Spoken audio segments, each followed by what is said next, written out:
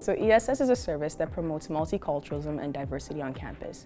We address issues regarding race, discrimination, oppression, and we also try to support racialized and minority groups on campus as well. My Culture is Not a Costume, which is an event that revolved around cultural appropriation, and solidarity against Islamophobia, which was talking about the Muslim ban.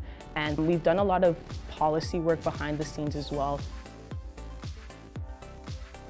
I really wanted to focus on addressing the tough issues that people go through. I felt that a lot of stuff that we were doing were really related to surface level things.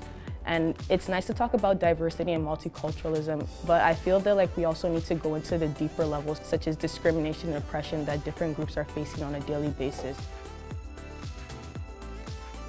I try to focus most of my events on stuff like that, those really tough issues that force people to think about their actions and to put them in the shoes of other groups or uh, different types of um, races and really understand where those people are coming from.